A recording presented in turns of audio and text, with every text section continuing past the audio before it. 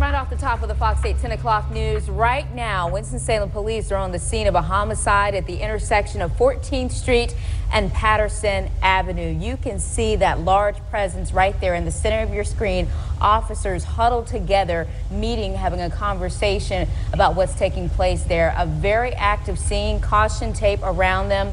We haven't heard what led to the shooting, but we're told this was a drive-by. We're going to stay on the story and let you know once we have more information. But again, a homicide in investigation underway in Winston-Salem at 14th Street and Patterson Avenue. Look at this fool. Look. Look at this dude, man.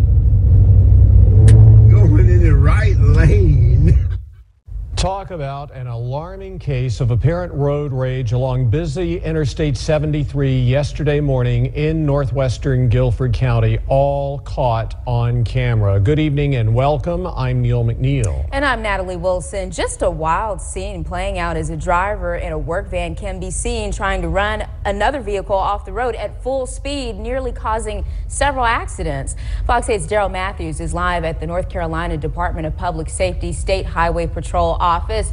And after speaking with the man behind the camera who captured that video, Daryl, what did he say?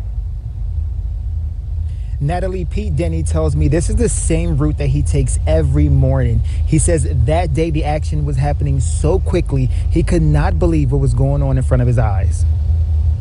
I thought the guy was crazy.